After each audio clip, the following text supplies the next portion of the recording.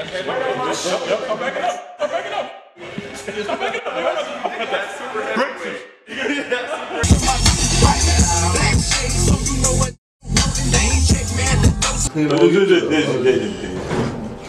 This clean. Shane, Shane. Smoke a Vienna sauce.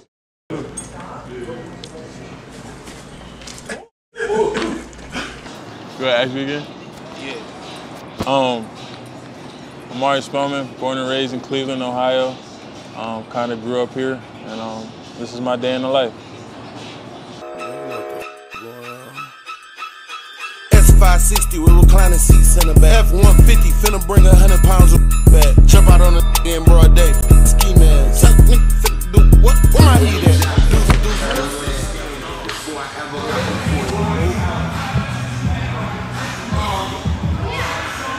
Actually started playing basketball around like two years old. It's kind of like something that's always been in my family. My mom played, my dad played. Um, so it's always been kind of natural and instinctive for me. So I've just been playing forever and I haven't stopped. When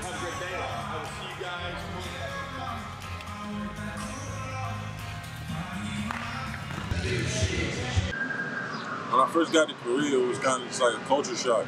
You know, everything's different, everything's in a different language. You got to find your way around. And being that I was there for so long, I kind of figured it out towards the end. But at the same time, it was just not home. Uh, being home just kind of was, was- I needed it. You know, I think everybody has like constants in their life. You know what I'm saying? Something that they see, something that holds them to this world. Like it's almost like, all right. So let me put it. The best way I can explain it to you is, what if like everybody you knew died? Like everybody you knew, and like you could never see those people again. But you had like memorabilia, like photos and old videos or something like that. But you could never see those people again. He was just the last one left. That would be depressing as f- right?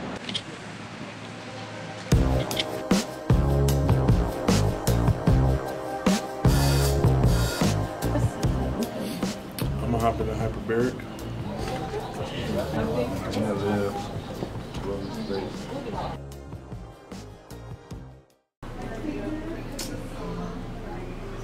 do you explain the PEMF truck? Alright, so it's like two sets of blankets. That's what I was telling you about. Oh, oh, okay. You lay the blanket over you and it sends electricity through to both sides. And that last one right there? The last one was the very last room, that's crap.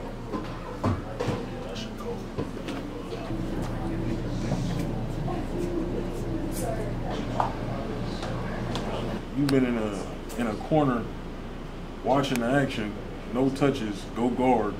It's hard to play like that. I'm not sure. I'm not saying the guard like more than three, four possessions without touching the rock. I ain't gonna lie. After that, like third, fourth possession. But you know what the problem is though? We can't never move it because it'd be like,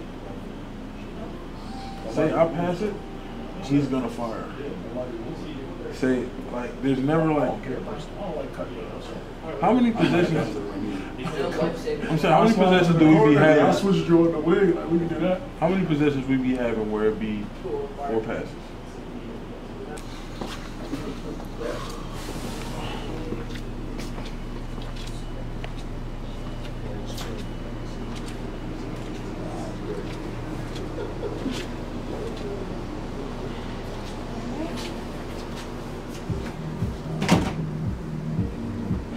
Like like pulsating with like my whole body. Just like attacking like where I'm the most tense. Right now I feel it most like in my hip flexor and my lower back.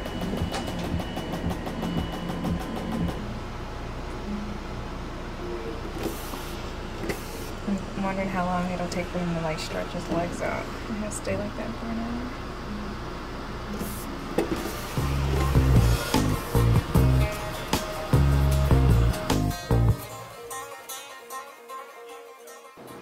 Word that you would use to describe yourself? Just one. Uh, passionate. Why? Um, I would say more so because I just, um, to a fault, I care a lot about everything. um, I care about my people. I care about what's going on. I just want everybody to be happy, you know. That's just kind of my that's how that's my approach to everything. I'm very competitive. I want to win. I want to be the best version of myself. I want to, you know, attack life in a way that I don't feel like I have yet, and that's just kind of it's kind of my thing right now. That's where I am in life. What? Just Cleveland? It's just Cleveland? Early in the morning, late at night. It don't even matter what time it is. Presidential, roll RM, wait. Whenever I found time, it's okay. ATL Jacob, ATL Jacob. You pray for my demons, girl, I got you. Every time I sip on codeine, I get vulnerable. Annoying the sounds of the storm when it comes. She understand I can't take her everywhere a nigga going. I've been in the field like the children of the corn. I can hear your tears when they drop over the phone. Get mad at yourself cause you can't leave me alone. Gossip and messy, that ain't what we doing. Traveling around the world.